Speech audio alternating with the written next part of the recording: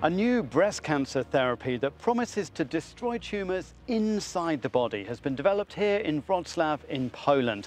The technology could eliminate the need for painful surgery and it's already won the EU's top innovation prize. Let's meet the team behind it.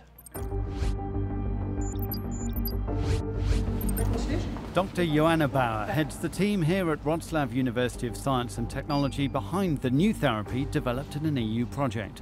Known as nanocargo, it involves injecting nanoparticles directly into a tumour.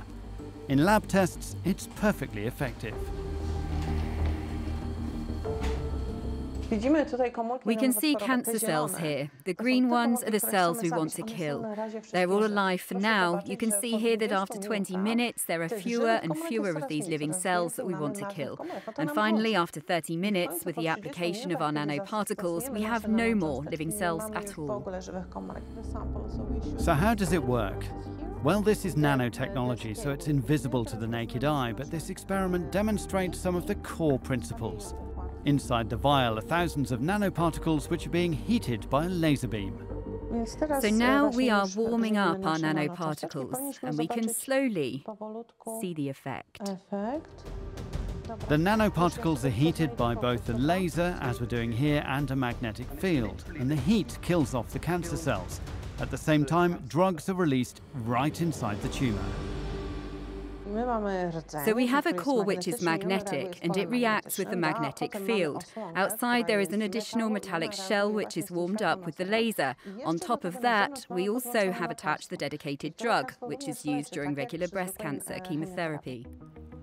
We head across Wrocław to hear the view of oncologist Rafał Makowski, who uses chemotherapy, radiotherapy and hormone therapy to treat breast cancer.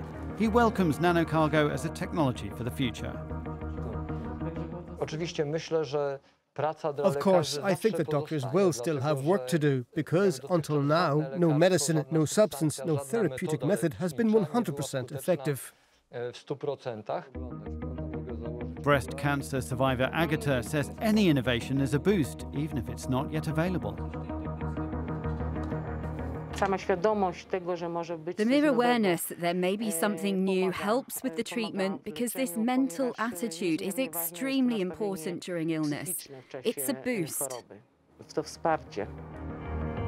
Nanocargo was co-created by Indian scientist Dr. Nanasaheb Thorat. Together with his Polish colleagues, he was awarded the EU's Innovation Radar Prize for the research. Our approach is very specific, targeted, and only targeting the tumor, not the other parts of the body. Innovation Radar Prize gives me a great opportunity and proud moment to transfer the basic science or my, my ideas into the real world technologies. For Joanna Bauer, the Innovation Radar Prize is a significant boost for a promising new therapy. We are delighted with the great appreciation of our work, but above all, we are delighted that this technology we've developed can help women in the future. This is the most important thing for us. Right now, the team is back in the lab working to define the perfect dose of nanocargo to treat different kinds of tumours and minimise side effects before moving on to clinical trials.